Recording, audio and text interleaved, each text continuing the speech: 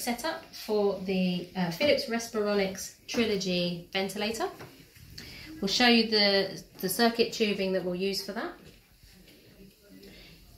You have two types of single limb circuit.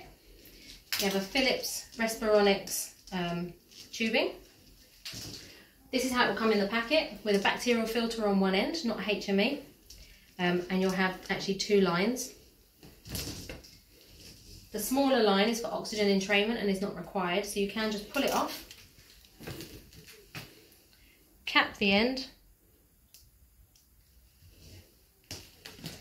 and you won't need an extra bacterial filter, so that can come off as well.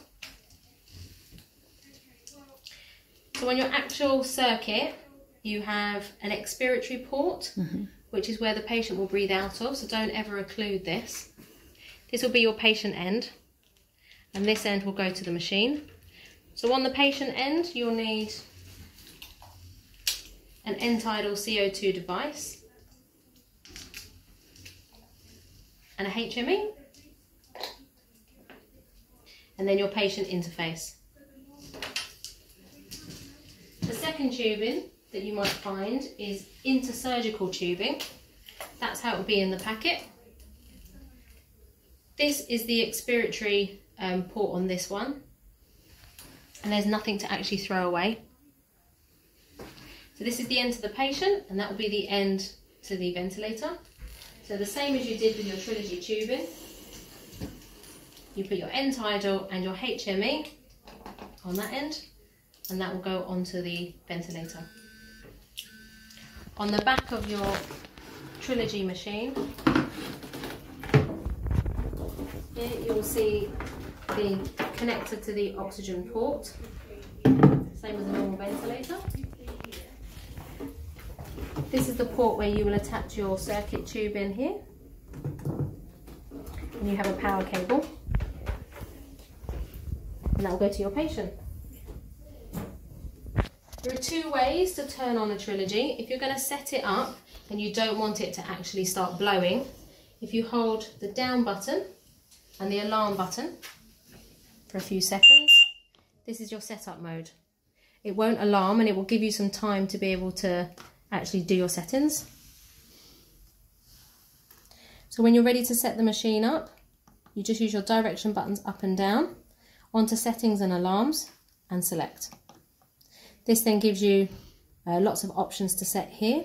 So a dual prescription would be for patients that had a different prescription at night time during the day for non-invasive. We won't be using that at all, so that will always stay off. The mode to choose, we're going to choose pressure control SIMV. If you wanted to modify that, just press the button here that says modify and then you can scroll through the other ones. So when we're happy with what we've chosen, press OK and it will move down to the next one. The circuit type we always use is passive is on there. Set your inspiratory pressure. So to change that, press modify. Scroll up, scroll down when you're happy. Press OK. That would be for your mandatory breaths. PEEP. To modify that, scroll up and down. Press OK. And then for your assisted breaths, you want to set a pressure support. So this would be on top of your PEEP. So if we've set ourselves an inspiratory pressure of 20, a PEEP of 6, the difference there would be 14, so I would set my pressure support at 14 to achieve the same for every breath. As you scroll down, you've got a breath rate, an inspiratory time. FiO2 would be done through the machine. Uh, trigger type would always be Auto-Trak. Uh, rise time, always set it at 3, which is in the middle, so you can go down from 1 up to 6 but if you leave it just as three, that's the average. We don't nebulize through the circuit, so that's off. And then you have your alarms. So a circuit dis disconnection alarm is quite important. You can tell it for how many seconds. So it will be 15 seconds before it will, it will tell you if it's disconnected, and that will be whether the tube comes off. We'll set a low minute ventilation alarm as well. So set that for whatever you need. We'll set it for, say, three and that's your alarm set. When you're happy with your setup, press finish and it will ask you if you want to activate um, this mode. If you press yes and then press power off, yes. And then when you turn the machine back on again, press the button here and it will start the actual ventilation. And then this is the screen that you will see all the time the patient's on it. You can take your readings from here.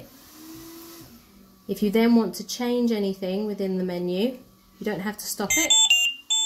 So tidal volume would be VTE. Uh-uh, thank you. Respiratory rate, mm -hmm. peak inspiratory pressure, mm -hmm. minute ventilation, mm -hmm. and a leak. The machine likes a leak um, of about 30. So between 0 and 50, but the minimum is about, uh, middle is about 30.